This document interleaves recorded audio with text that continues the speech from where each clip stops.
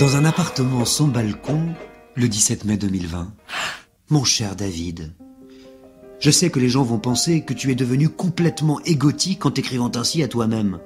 Surtout en ce temps où les autres te manquent tant, où tu ramasserais désespérément n'importe quelle miette d'un souvenir collectif.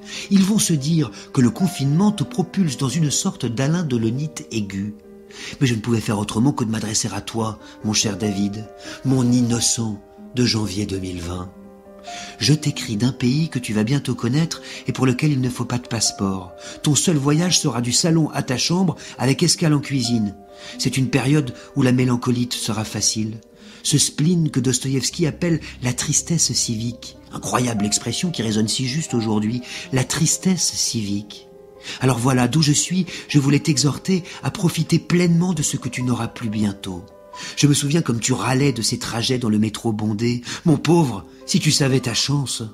Savoure chaque station où tu es collé aux autres, où tu manques de t'étouffer. Tu te souviens comme la rame restait coincée entre Rome et place de Clichy dans le noir pendant dix minutes. Le bonheur. Ce souvenir, c'est un peu mes nouveaux Maldives maintenant. Et quand tu sortais dans la rue, il faisait gris. Les gens avaient des soucis et faisaient la tête, mais au moins tu voyais leur visage. D'où je t'écris, on ne voit plus de sourire, c'est la mort des rouges à lèvres. Puis tu allais déjeuner dans ce café où tu attendais pendant tout le repas une corbeille de pain qui n'arrivait jamais. Crois-moi que tu donnerais tout maintenant pour pleurnicher sur un hypothétique crouton et t'agacer de la nonchalance d'un serveur. Et puis ce soir-là, tu étais allé au théâtre voir une pièce qui t'a ennuyé. C'était vraiment mauvais.